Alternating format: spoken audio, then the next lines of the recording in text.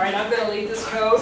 Over 200 registered nurses have participated in Code Blue training in the ZIEL Simulation Center since September 2015.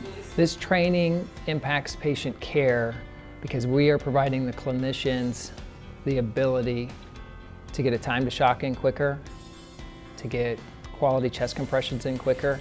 Those two interventions help improve patient outcomes. This kind of training um, takes them through all the roles and allows them to see what every nurse can do um, in a code situation and it gives them that like little checklist in their head. It was hands-on. That's what I think helped me the most. One month after the simulation training for Unit 15, there was a code on the unit. We started switching off CPR. Everything went very smoothly, and I think that was largely due to training. The oxygen um, wasn't up to 15, and I was just going through the list, and I had him turn up to 15. With Travis, you could kind of see him rolling through his head. He's like talking, we need to get CPR started. We need to get the backboard under the patient. We need to get um, the bag valve mask, the AED.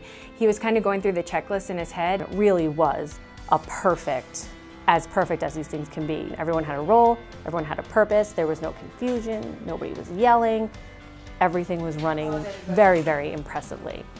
Okay, it makes me feel as an educator that I am impacting patient outcomes through our nurses like Travis, that he took the training, he implemented it at the bedside, and gave that patient the best chance for survival.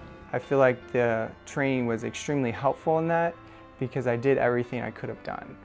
And otherwise, I could be having all this like guilt, like I should have done this, I should have done this, but I felt prepared going in, and that really helped me on the back end.